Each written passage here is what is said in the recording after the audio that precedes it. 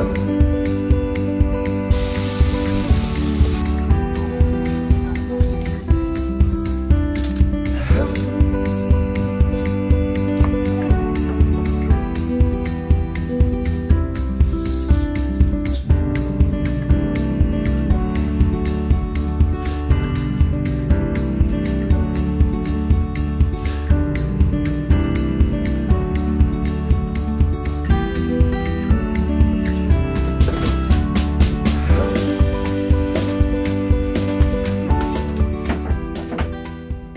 ดีตอนเช้าค่ะเชอรี่มาม่าเจแปนค่ะ เด็กๆก็อยากจะกินซูเฟ่แพนเค้กนะคะ มาหลายวันแล้วค่ะเชอรี่ก็ไปหาสูตรมานะคะ เจอสูตรที่ทำง่ายค่ะ ก็เลยเดี๋ยววันนี้จะทำให้เขาทานตอนเช้าค่ะทำง่ายๆนะคะ ก็แยกแค่ไข่แดงกับไข่ขาว แล้วก็เดี๋ยวไข่ขาวไปแช่เย็นไว้ก่อน แล้วก็มาตีตอนส่วนผสมของไข่แดงค่ะ ก็ระหว่างที่ทำแพนเค้กนะคะเชอรี่ก็อยากจะมาตอบคำถาม ของคลิปที่แล้วนะคะที่มีหลายคนสนใจเกี่ยวกับโซลาเซลล์นะคะ ที่ทักเข้ามาส่วนตัวหาเชอรี่นะคะ ก็เดี๋ยวเชอรี่จะอบอกแค่คร่าวๆนะคะ ที่เชอรี่ทราบค่ะ เกี่ยวกับโซลาเซลล์ที่เชอรี่ติดตั้งที่บ้านเชอรี่ที่ญี่ปุ่นนะคะ บ้านที่เชอรี่อยู่ที่นี่นะคะ ก็เป็นบ้านมือสองนะคะที่ไม่ได้ติดโซลาเซลล์มาก่อน ถ้าเกิดเป็นบ้านใหม่นะคะ ที่เขาติดโซลาเซลล์มาก่อนเขาก็ จะมีเครื่องเก็บไฟให้ด้วยนะคะ บางบ้าน แล้วก็คือเขาติดมาให้แล้วก็จะไม่ต้องมานั่งเสียค่าตัวไฟโซลาเซลล์นะคะ แต่ว่าเชอรี่เป็นบ้านมือสองที่มาติดไฟโซลาเซลล์เพิ่มค่ะ ก็เลยจะต้องมีการจ่ายค่าตัวแผงไฟนี้นะคะ ทุกเดือนค่ะ ก็ติดมาได้ประมาณ 3 เดือนเกือบ 4 เดือนแล้วค่ะน่าประมาณ 4 เดือนแล้วค่ะ แต่ว่าเพิ่งมาขายไฟได้ประมาณ สองเดือนค่ะ ขายตอนช่วงฤดูใบไม้ผลิค่ะ แดดก็เลยยังไม่ได้เยอะมาก รอบแรกก็ได้ค่าไฟมาครึ่งหนึ่งนะคะที่ขายขายไฟฟ้าได้นะคะ ก็จ่ายเองครึ่งหนึ่ง แต่ว่ายังไม่ได้ตัวค่าแผงโซลาเซลล์ ส่วนรอบสองก็ได้ค่าไฟมาเหลือจ่ายเองประมาณ 3,000 3,000เยนนะคะ ก็ไม่ถึงพันบาท แล้วก็ยังไม่ได้ค่าตัวแผงโซลาเซลล์ แต่เดือนเนี้ย ค่าไฟน่าจะขายได้เยอะนะคะ อาจจะได้ค่าไฟฟรีทั้งเดือน แต่ว่าตัวของจะพอมาจ่ายตัวแผงโซลาเซลล์หรือเปล่าคือยังไม่แน่ใจตัวเลขที่ขายไฟไปได้ยังไม่ออกมา แต่ว่าถ้าเริ่มตั้งแต่เดือนหน้านะคิดว่าน่าจะขายไฟได้เยอะค่ะ ก็คงจะใช้ไฟฟรีตอนช่วงฤดูร้อนนะคะ ไปทุกเดือน แต่ว่าอาจจะเหลืออมาจ่ายค่าตัวแผงโซลาเซลล์ ต็มหรือว่าเหลือครึ่งหนึ่งก็ยังไม่แน่ใจนะคะ เพราะว่ายังไม่เคยขายไฟตอนช่วงฤดูร้อน ส่วนช่วงฤดูหนาวนี่ก็แดดไม่ค่อยดีนะคะ อาจจะขายไฟได้ไม่เยอะ ก็จะต้องจ่ายค่าไฟ อาจจะจ่ายสักครึ่งหนึ่งหรือว่าจ่ายกี่เปอร์เซ็นต์จะเรียกไม่แน่ใจนะคะ แต่ว่าเซลล์ที่เขาขายนะคะเขาก็ได้บอกเป็นคร่าวๆแล้วนะคะ ว่าช่วงฤดูหนาวเนี่ยก็จะขายไฟได้น้อย อาจจะต้องจ่ายค่าไฟเองเยอะกว่าช่วงฤดูร้อน แต่ว่าช่วงฤดูร้อนนะเขาบอกว่าอ่ามันจะได้ขายไฟเนี่ยได้เยอะแล้วก็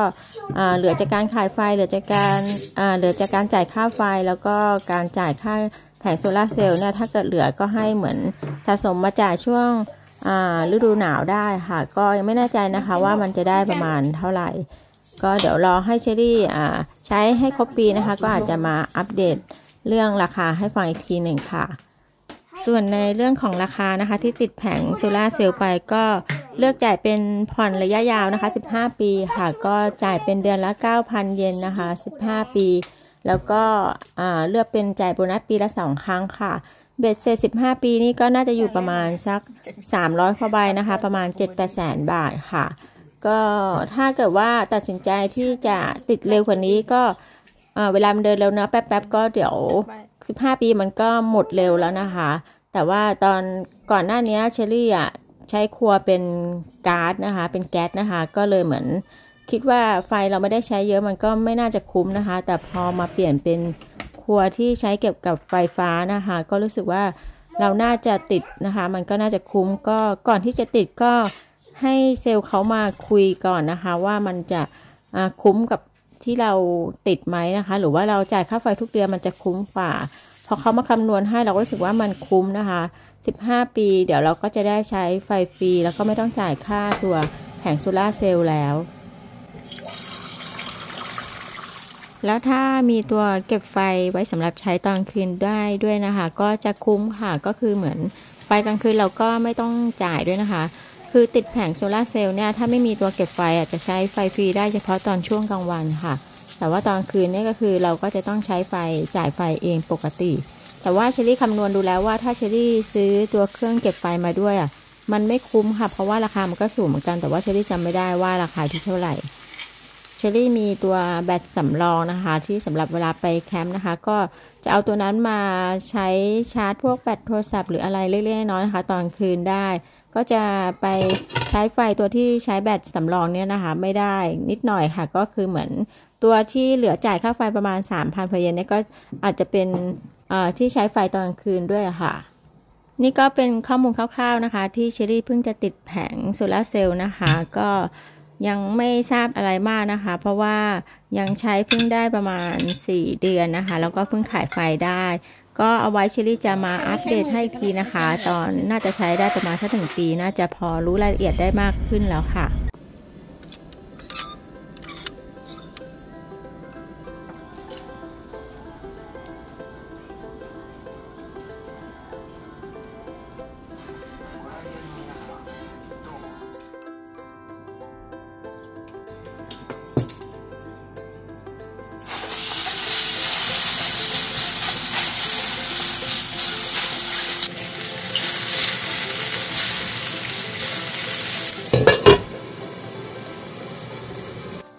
เมื่อกี้ก็ออกไปซื้อเสื้อผ้าที่ร้านมือสองมาค่ะ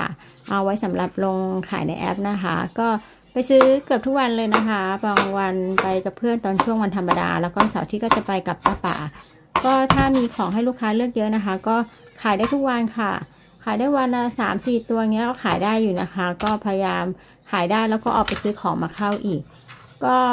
ไม่ไม่ไม่ยากนะคะเชลลี่ก็จะไปร้านมือสองแล้วก็ ดูตัวไหนที่เราสึกว่าเออมันมันพอจะขายได้ก็จะถ่ายรูปเซิร์ชหานะคะ ว่าตัวนี้ขายได้ไหมขายได้ก็จะเอามาลงขายค่ะ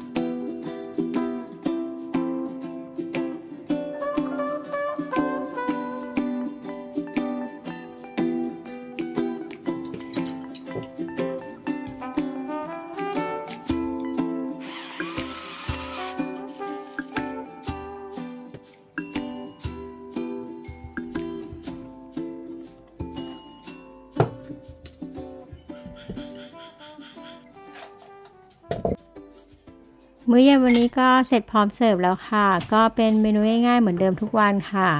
ก็วันนี้ได้กุ้งมานะคะ ก็แค่อุ่นเฉยๆแล้วก็ทำสลัดผักเพิ่มนิดหน่อยค่ะ คลิปวันนี้ก็ต้องขอจบไว้แค่นี้ก่อนค่ะ ขอบคุณที่เข้ามาติดตามและรับชมจนจบ แล้วไว้เจอกันใหม่คลิปหน้าค่ะ วันนี้ไปก่อนค่ะ สวัสดีค่ะ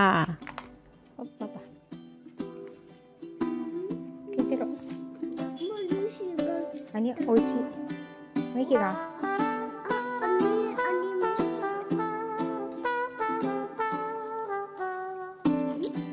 อัใชิมไหมกินได้หรอคอนไหมคอนชีสนะลูกไอ้ไม่จันชีสนะคอนชีสลองกินดูสิคะพาเบตเตมีดูกินอะไรฮะลูกอาจุนจะชาวอยากกินอะไรฮะลูก.